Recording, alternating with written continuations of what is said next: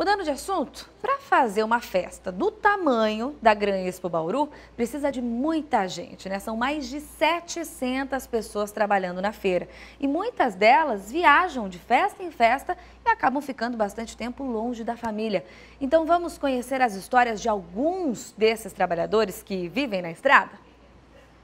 Ao chegar na Gran Expo Bauru, todo mundo vai direto ao espaço das delícias, conferir as novidades e as atrações. Mas você já parou para pensar nas histórias por trás de é cada é uma dessas barracas e pavilhões? Não. Nada? Nada. Também não. É a primeira vez que eu estou vendo aqui. Pois é, são mais de 700 pessoas trabalhando no recinto Melo Moraes durante uma das maiores feiras agropecuárias do interior de São Paulo. A maioria encarou quilômetros de estrada para participar dessa festa. O Ronaldo é de Maringá, está há cinco meses praticamente fora de casa, trabalhando em feiras como a Gran Expo Bauru, aqui na barraca do Yakisoba. Quando é que você vai voltar para sua casa? Me conta. Depois de setembro só.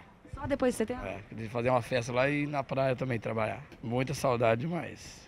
Fazer o quê? Tem que tomar cerveja e relaxar. Os tratadores desses animais também encaram uma jornada longa. Muitos passam bastante tempo longe de casa para cuidar dos animais que encantam os visitantes até na hora do banho. O Leandro é um dos tratadores. Ele é de Guatapará, na região de Ribeirão Preto. Está nessa profissão há cinco anos e já faz alguns dias que saiu de casa. A saudade é grande da esposa e das filhas. É difícil, viu? ficar longe da família é difícil. Mas a gente gosta, né, do que a gente faz e levar isso pro público, né, pro pessoal ver as belezas do, do gado, tudo. Depois que o senhor deixa tudo em ordem aqui, dá para curtir um pouquinho da festa também? Dá.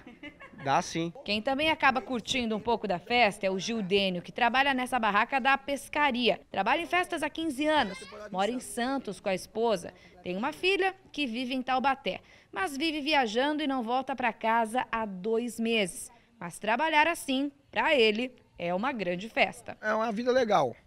Legal, diretamente falando, porque a gente fica feliz em ver uma criança sorrir. A gente procura viajar o Brasil todo levando alegria e diversão para a criançada, né? E aqui no palco que recebe os grandes nomes da música na Gran Expo Bauru também fica bastante gente trabalhando todos os dias. Pessoas que também vieram de fora para fazer essa grande festa. O Álvaro que o diga, ele é técnico de som, responsável por cuidar do que os músicos e artistas ouvem durante os shows. É, o sistema de som ele chega normalmente dois dias antes da festa, a gente monta toda essa estrutura que está aqui e cada dia essa estrutura é mudada de acordo com a necessidade de cada artista. Fazia muito tempo que eu não fazia uma feira agropecuária, ainda mais uma feira agropecuária da porte, do porte da Expo Bauru. É uma feira onde está passando hoje os maiores artistas do segmento nacional, é, como exemplo Jorge Mateus, Luan Santana, Fernando Sorocaba, entendeu? E assim, é muito bacana a gente poder estar tá aqui nessa cidade fazendo essa feira.